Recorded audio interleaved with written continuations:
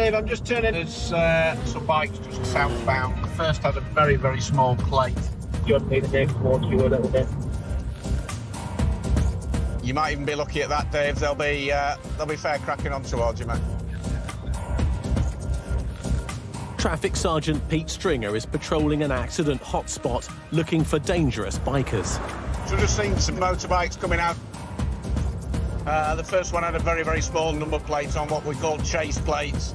The only reason they have those on is to uh, either try and get away from the police or to evade capture for speeding offences or antisocial riding. They were weaving all over the place as if uh, pretending they were on a, a Grand Prix track Just seeing if we can catch up with them. And this is the problem that we have every single weekend in the Yorkshire Dales. And this is why we have so many motorcycle fatalities. Every week, up to six bikers die and 115 are seriously injured. It's one thing driving quickly in a car where you've got a substantial piece of metal around you with many, many airbags to riding on something where you're so vulnerable. Pete catches up with the group of three bikers and gets behind the one with the small number plate.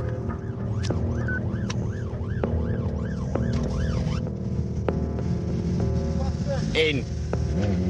As I'm alongside him, the window's down, I'm shouting, pull over next junction. And then the next minute, he's just gone. Well over 100 miles an hour, wrong side of a double white line into oncoming traffic on a blind bend unadulterated stupidity. Oscar Romeo 56, motorcycle failing to stop, southbound. What could be worth risking your life that much to get away?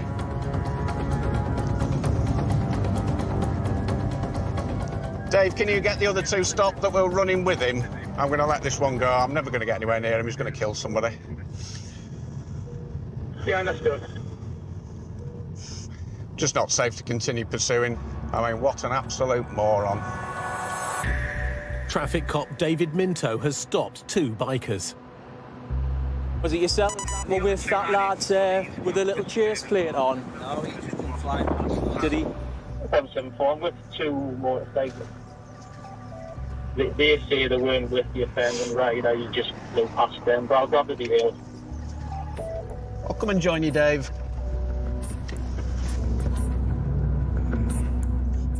So the one that's failed to stop for us was riding with two others. One that was very, very similar in uh, machine and leathers. So we just think that he may have located and managed to stop the other two that mysteriously turned off.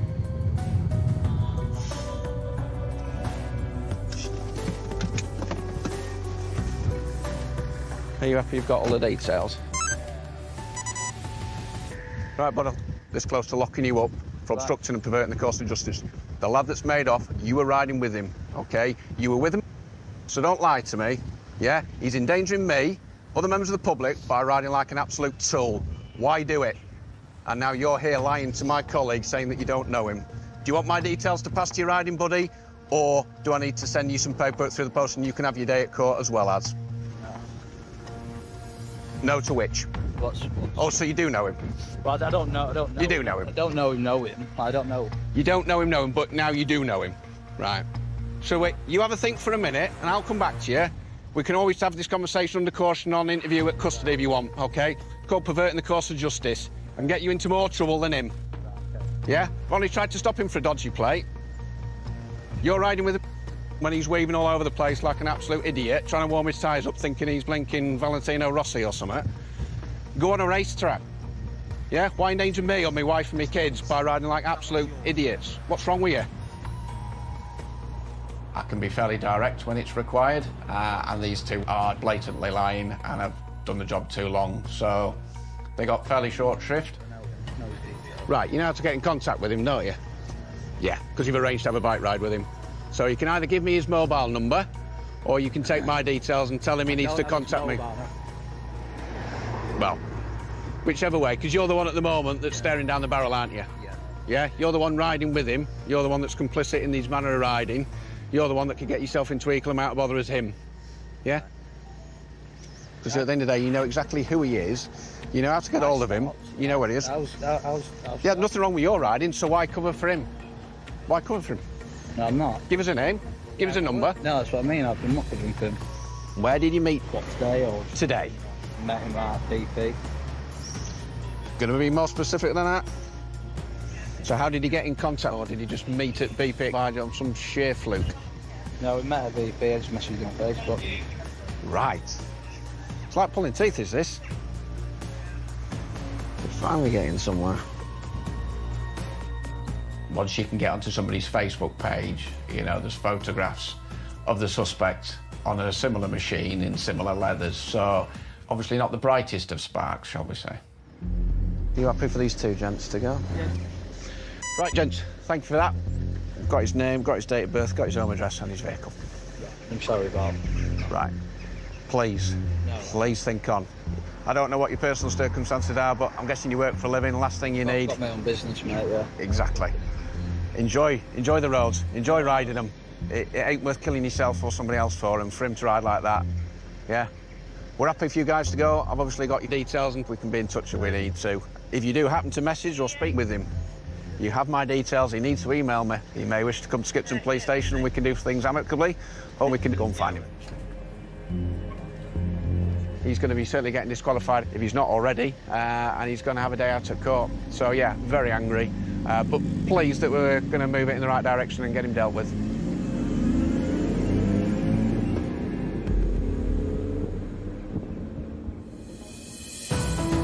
Coming up, Have you been riding your motorbike this morning? Pete tracks down the suspected runaway rider. I've no idea what you're talking about. And a 70 year old biker crashes down a steep embankment. Where was that pain? Oh, in your back. He's in a bad way.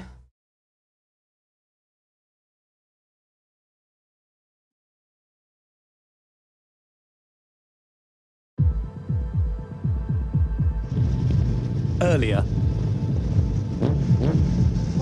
In.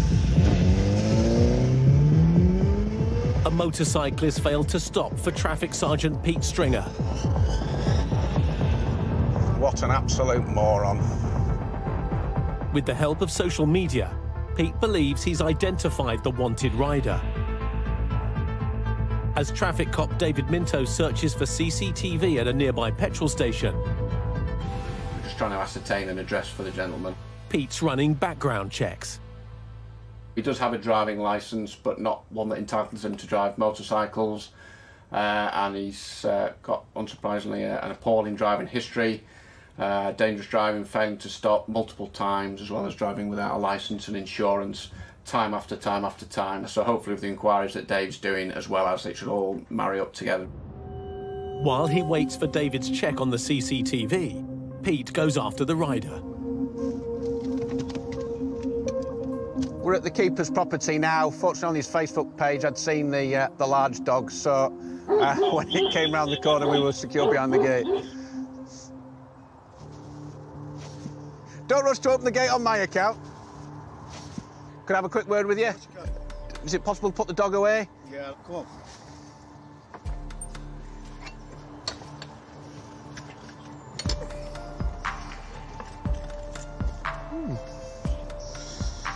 We've had an incident this morning involving a motorbike. I've got a motocross bike. Have you been out on your motorbike No, this morning? no. Do you have a motorbike? Oh, your motocross bike. Can I have a look? Do you have just the one motorbike? Yeah, one, one motorbike. I've got a licence for a road bike. CR250, it's 1998 model. Yeah. Right. Okay, doke. Have you been riding your motorbike this morning? No. You don't have access to any other motorbikes? What what leathers and helmets do you have? Um, I've got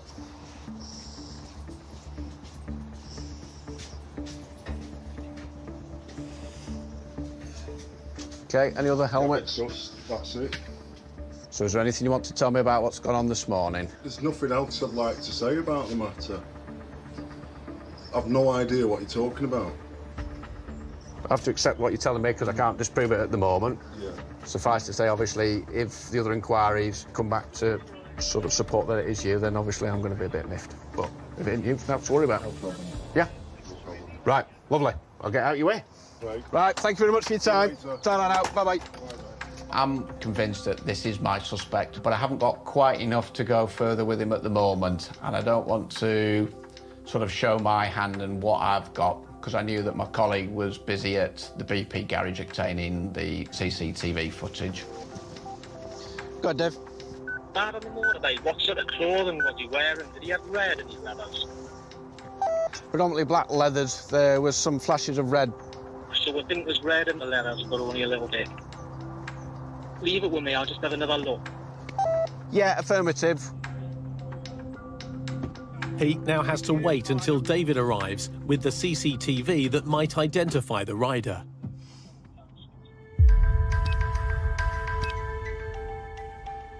Initial injuries look like chest, neck and back pain.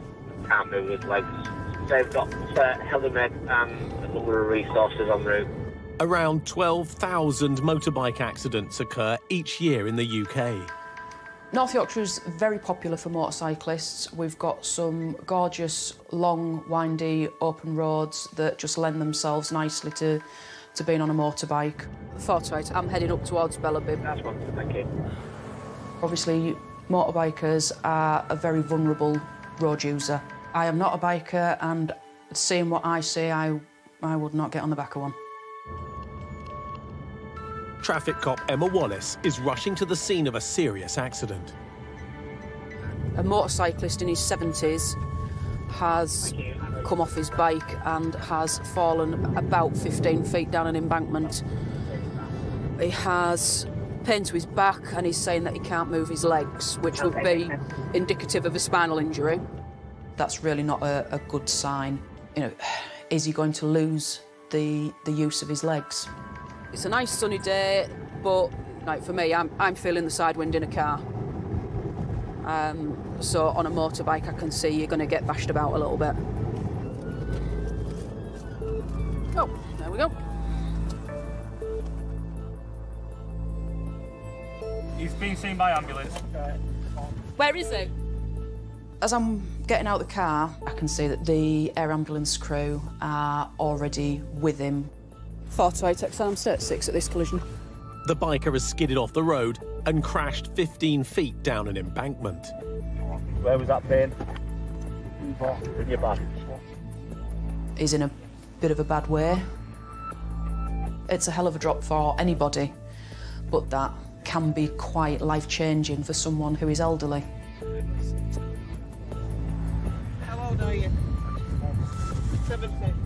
Your hands on your chest, keep dead still. We're going to put a board underneath you, okay? He's conscious, he's breathing, he's communicating with the uh, with the air ambulance staff, which is an absolute bonus. You can see the skid marks. Yeah, He's put his locks up. the sun would have been in his eyes. Direct, yeah. Right. Bike landed there, come off. Yeah. The bike's rolled and he's gone rolled afterwards.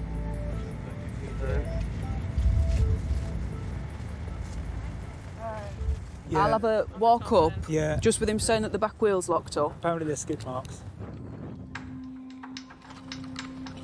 That's the end of the skid mark there. All the way up here. So it's gone all the way down there and then he's left the road. The bike has gone through the gorse bush here and then they've both landed separately just down there. How's your pain now? Still the Exactly the same. same account, but they've come Roll. Ready, steady.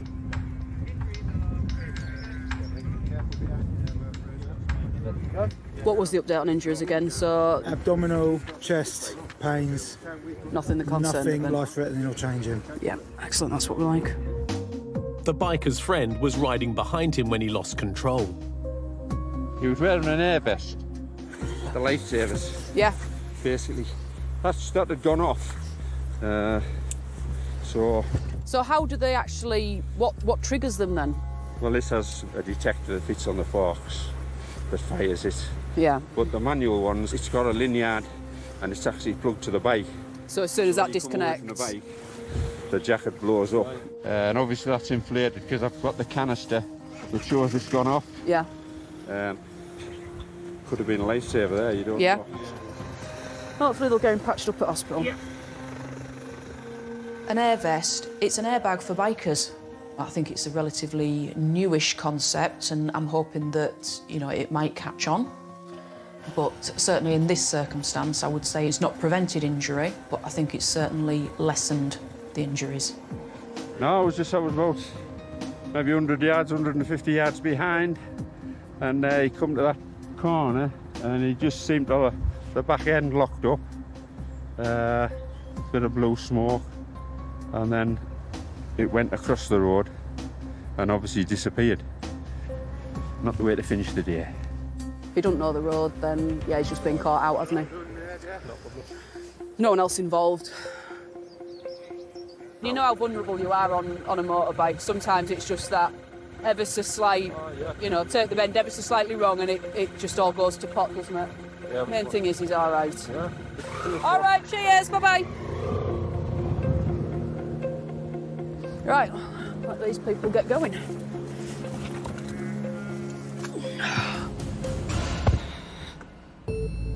With the large majority of North Yorkshire's bike accidents due to rider error, when speed is involved, the consequences can be devastating. 70 miles away, traffic cop David Minto is investigating a suspected dangerous rider. Yeah, affirmative. We're at the keeper's property now. He's meeting Sergeant Pete Stringer with some further evidence that might identify the biker. Um, I get the CCTV, and these images show uh, my suspect without his helmet on on the BP forecourt. It's him getting off that machine in the leathers. He's absolutely banked to rights. It's it's sort of game set match really. Oh, absolutely. It's just him. So it just confirms my suspicions that he has lied to us. Right, I'm going back again. See you shortly.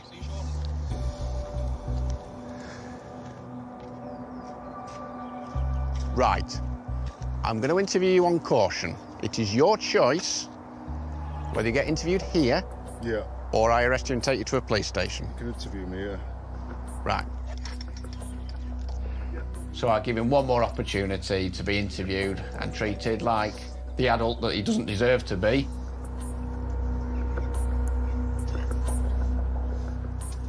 He's been interviewed under caution. He's now commented every single question. All right, bud. See you later. Ta-da now. Bye-bye. But that said, once he's been reported for multiple uh, driving offences, uh, he, he's then started crying. So by his body language, he's shown an admission, but he has no commented all the question that's been asked. I've given him every opportunity to say, would somebody have used his details if he wasn't the rider? And he's still chosen to no comment. So um, all the paperwork will go off this afternoon and he can get a summons and uh, have a court appearance. I'm hoping it sends out a strong message to other motorcyclists, the efforts and the lengths that we will go down to track you, to, to prosecute you if you come across here and commit offences. Coming up, Listen, wait, calm yourself down. an aggressive biker squares up. Go over there and I will speak to you. I am not speaking to you outside of a road like this. His helmet's come off, probably as he's hit the sign. And a serious motorbike crash raises suspicions. He's clearly not been in control of the vehicle. And he smells of alcohol.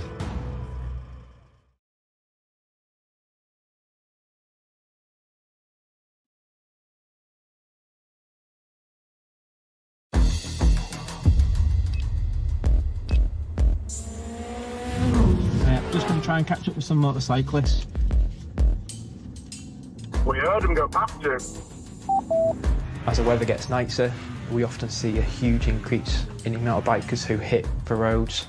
These bikes can hit speeds uh, 0 to 60 within a couple of seconds. PC Mike Rowan is patrolling the A19 near Selby. The bikes are more designed for a racetrack, not necessarily the roads. If you hit a pothole uh, at that kind of speed, the results of that can be catastrophic.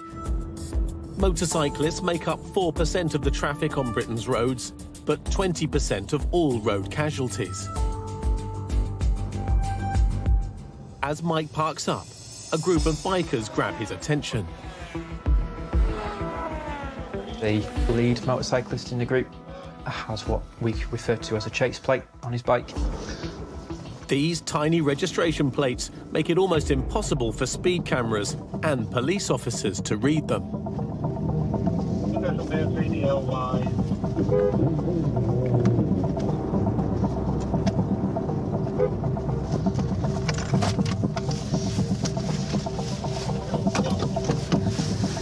There we go. What are you doing there? Hey? What are you doing there? You, you may turn off my bike, you idiot. Right, I'm not. Yeah, you are. You didn't Listen, lights right, calm have your full yourself down. No, go over there. down. I will speak to you in a minute. All right? No, because you're squaring up to me. Go over there. Take your hand off right, go over there, and I will speak to you. I am not speaking to you outside of a road like this. Go over there, and I will speak to you. take your hand Right, but I can't have you squaring up to me like that, can I? Move over there. Move over there. You, fella. I don't, Hey? take, I don't take orders from you. I I'm giving you a direction, right? Because you are squaring up to me outside of a road. It can be a very difficult place to be when you're confronted with somebody squaring up to you. I'm there to deal with offences and the incident that I've seen in front of me, and that's going to happen whether this guy kicks off with me or not. Right. Wish why you've been stopped, okay? I've done it wrong, so you'll tell me why I've been stopped. Right. Calm yourself down, attitude? obviously. No, no, no, I'm talking to you. Right. I understand. You've stopped me. I pulled over for you. I saw you. I did do nothing wrong. I filtered past the cars, which Yeah. is quite within my right to That's do. fine, yeah. And I understand that, obviously, a member of my gang has obviously raised your tensions. Just calm down. We can talk and we can sort Right. the problem out. What is Okay. the issue? Was this your bike? It is, yeah. This one here. The Right. Suzuki, yeah. Yeah. So, it's to have a chat with you about your number plate, okay? Oh, all right. Small. Well, it's illegal. All right. So, what, what's your name? Mark. Mark. Mark what? I'm not obliged to tell you that. Yes, you are because you're using a bike on a road. So you're required under the Road Traffic Act to give me your details. Well, if you pay and see my bike, you'll see. Right, but I'm, I'm asking you for proof of a driving licence as well. No so problem. have you got a driving licence on Yeah, I you? have, yeah. So why are you telling me that you're not going to give me a surname? I've not told you that. I said, am I, You said I'm you're not I said- obliged to no, give I me- said, Am I obliged to give you? No, you understand what I say to me. I said, am I Right. obliged to give you my surname? You asked Yes, me my you are. name. Yeah. I gave you it as Mark. Right, have you got any ID on you? I certainly have, yes. Right, okay. Can I have a look at You it, certainly please? can, yeah. Cheers, thank you. Okay. But now I know why you stopped me because I've got my show plate on, which should be. I've got the proper plate under the seat. Right. Do you want me to prove that to you? Yeah, go on.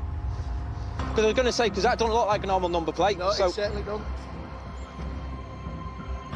so that number plate that you had on it, Yeah, yeah, yeah. right, was a show plate. Yeah. But that one that you've just put it on there now is also illegal, okay? Because it's got to comply with certain regulations, Oh, right? So around about, see, sizing of lettering, spacing, Yeah. I can report you for that offence and then you'll get a fine for it, Okay. all right? Okay. What I'm going Let's to hope do, you've had a good Sunday. eh? Let's hope you've had a good Sunday and you're in a good Look. mood. That's fine, I understand. Look, right. take- I try and be reasonable, that. right, and try and deal with people at as low level as I possibly can do. Yeah. What I don't appreciate is that when everyone starts getting in my face and Yeah, being yeah, no, aggressive no. towards me, Well, that's why I came particularly when I'm at the Yeah, side yeah, of the yeah, road. That's why I came over. Yeah. So I'm going to give you something called a VDRS, that Vehicle Defect Rectification Scheme. Yeah. Do you understand that that gives you two weeks Yeah, to get it today's changed, date, yeah. get it well from midnight, Okay. get it stamped, come into a police station, and then, provided that's done, that'll be the end of the matter. Okay. Yeah. Yeah. All right. Is this your first ride of the year today? Yeah, yeah. Have you a good day, taxed haven't it? Have you taxed it? Oh, I'm having a good Sunday, am I? You're not. I've sawned it, am I? Yes. I'm having a good day, am I? Okay. Right. So you haven't taxed it? No, no. Right. Obviously, there's no tax on it. 465, can we um, arrange recovery for this bike, Oh, please? I'll, I'll explain it. But you understand what I've done? It's the first ride Yeah. out of the year. Yeah. I've sawned it and totally forgot about it. Look, we're all human, aren't we? Yeah, we all make mistakes. Yeah, absolutely. Yeah? He isn't happy about having his bike recovered, uh, but at the end of the day, uh, he's made a mistake of not taxing it. So uh, he's got the responsibility to ensure that his bike is fully road legal. And if it's not, then it'll go on a recovery truck and get taken away. Unfortunately, you've made that mistake yeah, and you're not taxed it. No, no. All right. You know, Um, you're being fair with that ticket, mate. You can give me a, a, a fine, really, and I appreciate that. I'm having a good day, aren't I? While the man tries to get it taxed, Mike deals with the angry biker. Mate, do you want to chat to discuss? you don't? All right. What I don't appreciate, though, mate, what I'm going to say, go right, I don't appreciate you squaring up to me. When I'm, when I'm you- stood here, listen, you was that much away from taking me off my bike. I get that. No. I appreciate you're unhappy. All right, I, So- I get that, right, right? okay. However, the way that you behave towards me, when I'm stood on the far side of that white line in a lane of moving traffic, and you're squaring up to me, right, you shouldn't have done that. Yeah, all right? I shouldn't have squared up to you like that. I were wrong. Yeah. But I all were right. angry. I were Okay. angry. All I want to do is make sure that I'm not having to come along and s- straight bike your body parts off the road. Oh, all right, all right, Yeah. okay. All right. Yeah, okay. yeah. Are we good? Yeah? Yeah, yeah. Right. Spot on. All right. A lot of the um, the jobs that we deal with, it's about how we speak to people, and obviously by having a chat with these bikers, they've all calmed down. It's tax now, mate. It's tax. Yeah. Right. Show us proof of tax. Just you'll have a look before I click finish. Yeah. I can only apologise, mate. I didn't realise that I'd uh, when I saw it in February. Yeah. No, that's fine. More often than not, we will seize uh, vehicles if they've got no tax or no insurance. On this occasion, uh, the motorcyclist could taxi out the roadside and he'll still be reported for the offence, but on this occasion, he's got a little bit lucky and he's allowed to ride the bike away.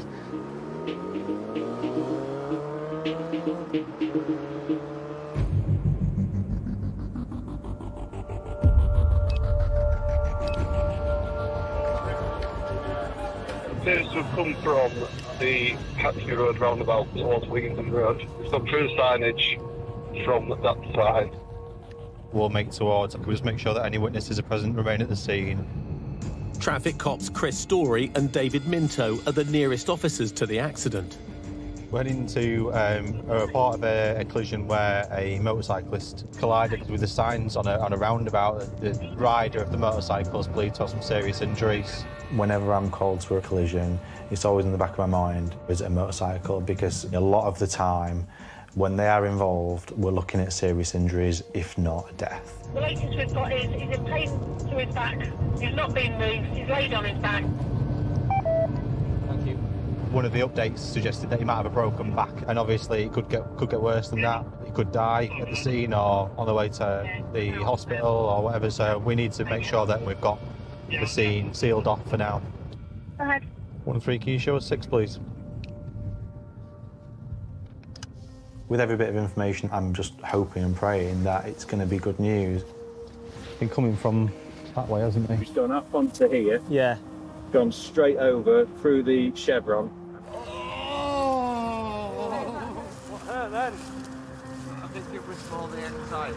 There have been a couple of vehicles present who turned out to be witnesses, so they're absolute gold to telling us the story of, of what's happened and how ultimately this chap's led to be lying in the middle of a roundabout. So we've gone past you first. I'm 20, 30 yards in front of him Yeah. in this lane, and Yeah. then he's gone round, just missed me, and then clearly lent one way, bike Yeah. took the bike the other way. You can see there's a lot of gravel over there, and he's just lost control, come out onto the roundabout here, and um, he's he's become detached from the motorcycle, and he's gone through the chevron board.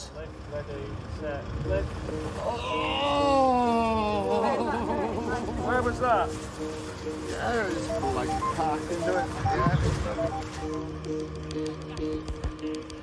have a quick look at the bike to see um, for obvious damage. As you can see from the sign, he's hit it with uh, a fair amount of clout. Them things don't come off easily. His helmet has come off when officers have got here, so yeah, we'll just uh, we're waiting to see what his injuries are at the minute. He's complaining of a lot of sort of sort of pain across the left side of his ribs. Just continuing to examine him and try and get some pain relief in him, but um, he's having a bit of a shock. The officer that was supporting this chap's head has suggested to us that he smells of alcohol. He'll most likely go into hospital, so the chances are we'll have to follow him down and uh, look at getting a sample of blood or urine. For somebody to get on a motorcycle under the influence of alcohol, um, obviously it's just a really, really bad decision. It's most likely going to end in disaster. There's nothing obvious, but he might have a, a, a broken rib or something like that. But there's nothing that they're particularly worried about, life-threatening or out like that, is there? No, definitely. No. not. So, I mean, I've had a look at uh, his helmet and there's literally no damage to it. No. So his, his helmet's come off, probably as he's hit the sign. Yeah. But he's lucky he's not in one of them poles. Yeah, yeah. Well, that it, it would have been a different. Yeah. Would have been a different story, wouldn't it? Yeah. They've arrived at hospital now and he has managed to get a breath sample out of him now. He's blown nearly double the, the limit. This is why we are targeting people that are using the roads whilst under the influence of alcohol and drugs. We're targeting them because we're trying to prevent being in this, in this exact situation. The rider is taken for x-rays, but it is clear that he's only suffered minor injuries. He's been extremely lucky because he's clearly not been in control of the vehicle, um, probably due to the amount of alcohol that he's got on board and the bad decision making he's made in, in riding. What his actions were on that night almost led to his kids not having the dad anymore.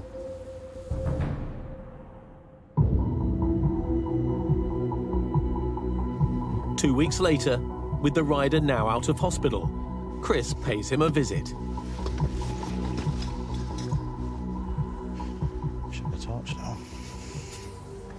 Hello, how you doing? All right? Can I come straight in? Perfect, thank you very much. The investigation's kind of circling around careless driving and also driving whilst over the prescribed limit for alcohol.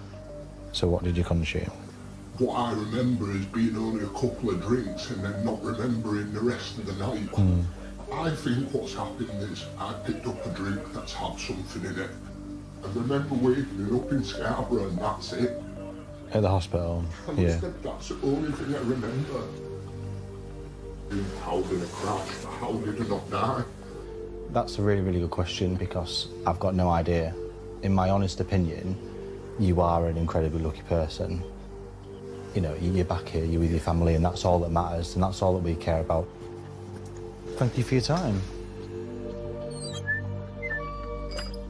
It doesn't really change anything what he said um, in terms of being spiked. We'll just have a look and see how much alcohol's in his system, and if he's over the limit, then he's over the limit. He's very apologetic, and ultimately he's a family man. He's um, he's got kids in that house that he's got to look for, look after, and he knows that he's a very, very lucky boy. Coming up, when a biker crashes into a cyclist, Could see the motorcycle parked unattended. the hunt is on for the missing motorcyclist. The rider's been picked up and gone, which is what's concerning me at the moment.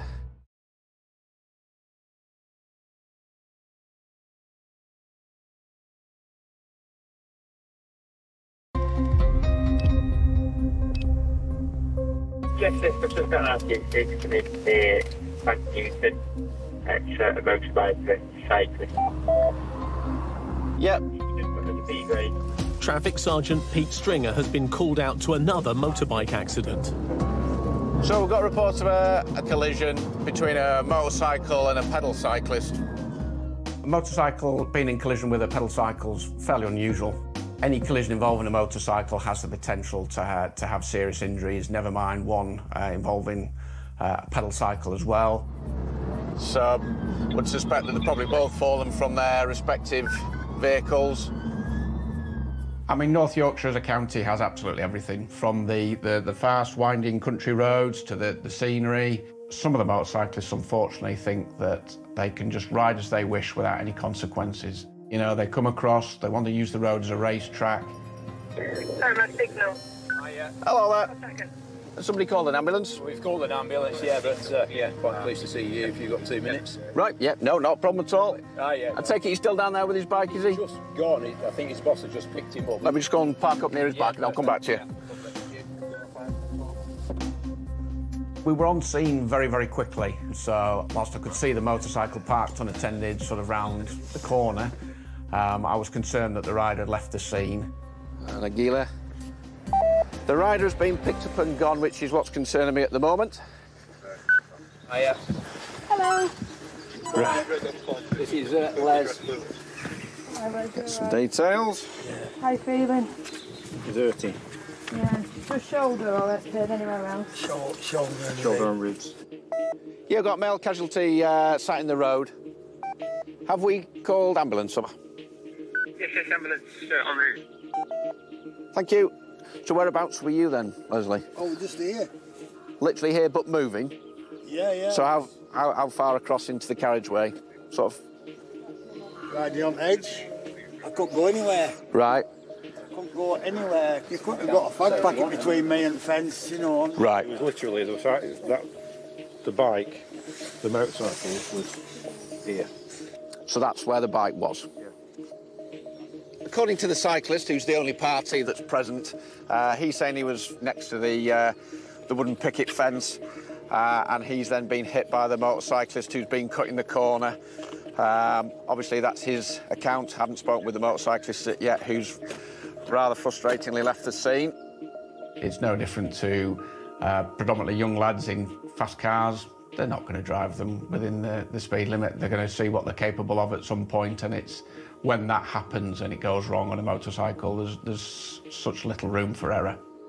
There's a cash guy that picked him up. Yeah, we think he, and he he worked. might We think he worked somewhere somewhere down down, here, here. Just down here somewhere.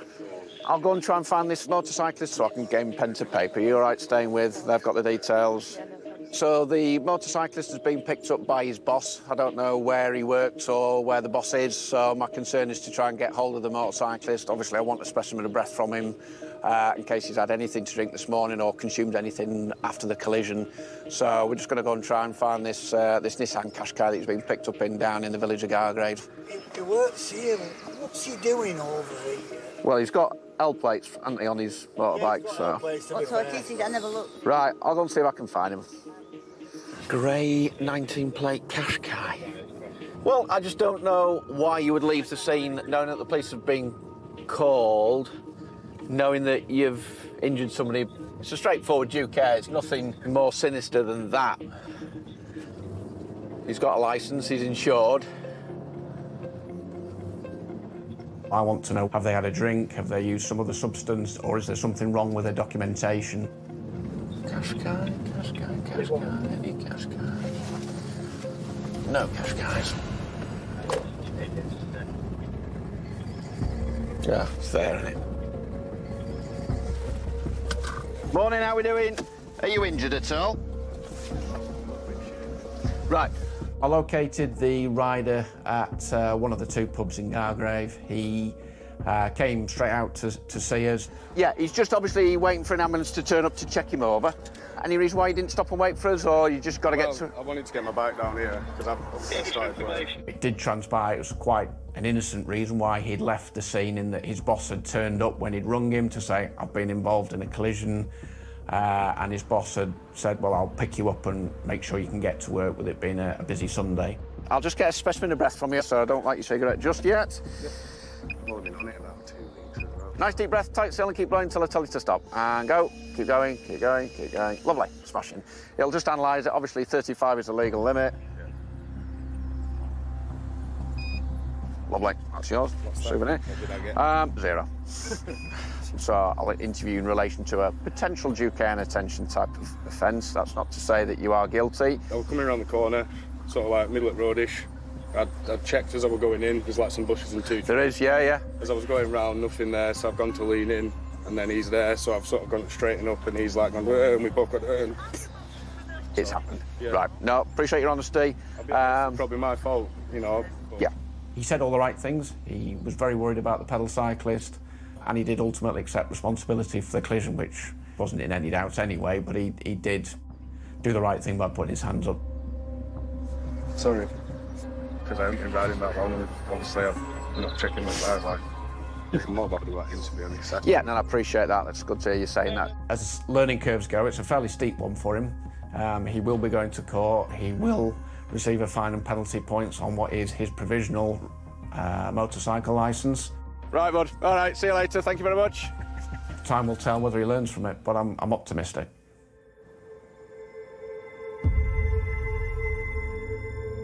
So we're just going to see our injured pedal cyclist from the collision that we went to.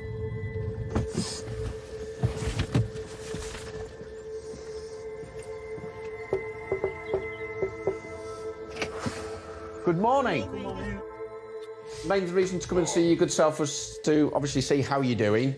Obviously, the collision occurs and you receive a fracture to your scapula and your clavicle.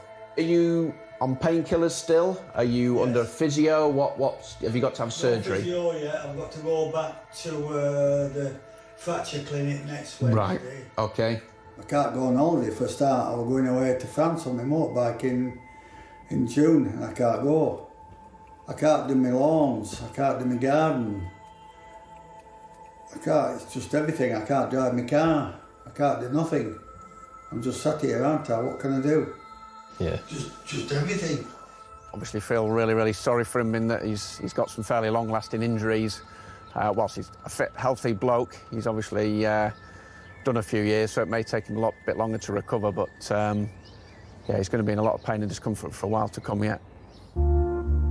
With North Yorkshire's open roads such a draw for bikers, policing them is a top priority for the traffic cops. The vast majority of bikers are just out for a, a nice drive, cup of tea, fish and chips, but there is a small cluster who want to wind it up. That small minority that come to North Yorkshire seem to believe naively that it's their personal racetrack. They can do what they like with no consequences. When it comes to bike crashes, obviously there's fatalities that we go to, limbs taken off. We see some really quite um, mangled states. If we can prevent one person being killed, we're ultimately preventing us having to knock on that door um, and tell somebody that a loved one isn't coming home. And that's why we do the job. We do the job to make it safer for everybody.